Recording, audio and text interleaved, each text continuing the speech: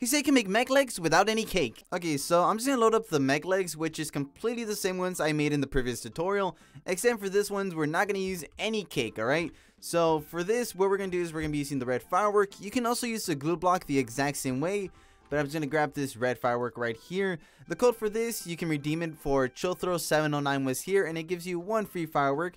So you just wanna place it like this. You just wanna select the switch, select the firework, just do the exact same things from the other tutorial. I'm just going to remove the rod, jump up, turn off anchor mode, delete share, and just like the other version, it will work exactly the same without any problems. And yeah, it's pretty simple to make, and it's pretty cool if you think about it that you don't really need the cake. Just make sure that you don't get close to anybody because they could click it, so that's the only thing. But yeah, let me help you out real quick.